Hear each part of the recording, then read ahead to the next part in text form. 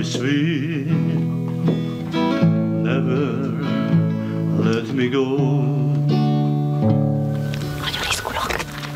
You had made my life complete, and I love you so. Jó napot!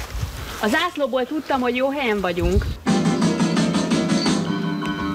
Baby, let me A Cowboy kalapban Végvári Sándor, vagy ahogy sokan ismerik, Elvis.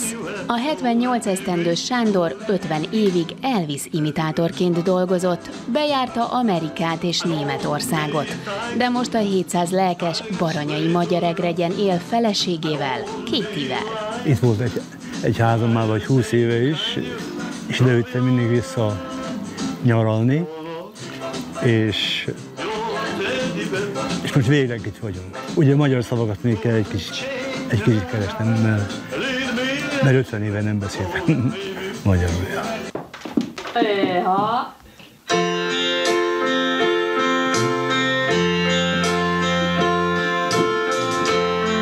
Maybe I didn't treat you quite as good as I should have.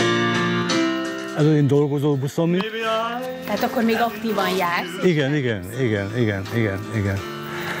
Mikor volt a legutolsó fellépésed? Há, itt volt a strandon, van itt egy szép, szép erdei strand. Mit szólnak a falubéliek, hogy Elvis él magyar egregyen? ők már engem nem úgy hívnak, hogy, hogy hanem hogy Elvis. Ja. Két éve miért döntöttél úgy, hogy magyar egregy lesz az otthonotok? Én Komlón születtem, és visszaváltam ide, mert itt, itt, itt töltöttem el fiatalságomat, mindig az erdőben voltunk fönt. sweet.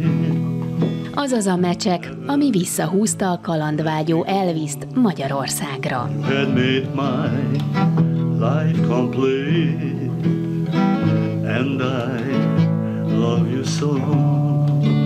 A pályafutásom elkezdődött, amikor Elvis-el találkoztam. Kaliforniában laktam Palm Springen. Én azért mentem ki, hogy a, ezt az amerikai zenét megtanuljam. És a nyelvet is, szóval Tehát nem feltétlen Elvis imitátor szeretett nem, volna nem. lenni. Én nem szerettem volna, szó, szó- szóval nem volt ez. Majd jött Semmi. Elvis a képbe, az életedbe, Igen, és igen. akkor meglett az irány? Én játszottam uh, blues, folk, folk music, ja, minden. Majd találkozhatott Elvisszel, aki köztudottan sokat tett a magyarokért 1956-ban. Sándort Amerikában egy támadás érte, és kórházba is került. A bajba jutott magyarról viszont hallott Elvis, és segített neki is. Szegény magyar zenész diákkal, hogy, hogy, hogy elbántak Amerikába. Olvasták az újságban, hogy én velem mi történt, és akkor Elvis kifizette az én kórházi költségeimet, és amikor fölépültem, akkor elhatároztam, hogy elmegyek hozzá, és megköszönöm. És nagyon rendes volt velem, és kérdezte, hogy Magyarországon lehet-e kapni Elvis lemezt.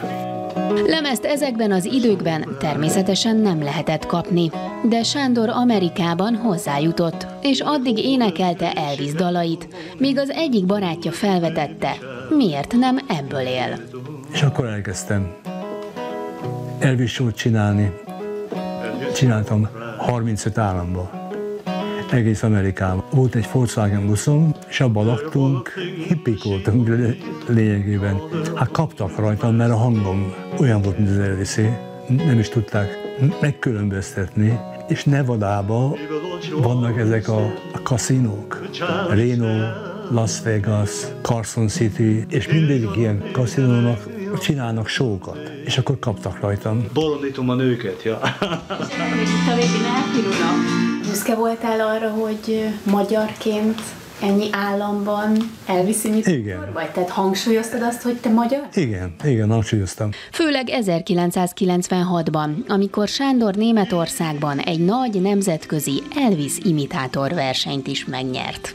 És azt én megnyertem, és, a, és amikor elmentem ki a zsűrihez. Akkor a zsűri mondta nekem, hát igen, ez az igazi amerikai kiejtés. És akkor én mondtam neki, de én magyar vagyok.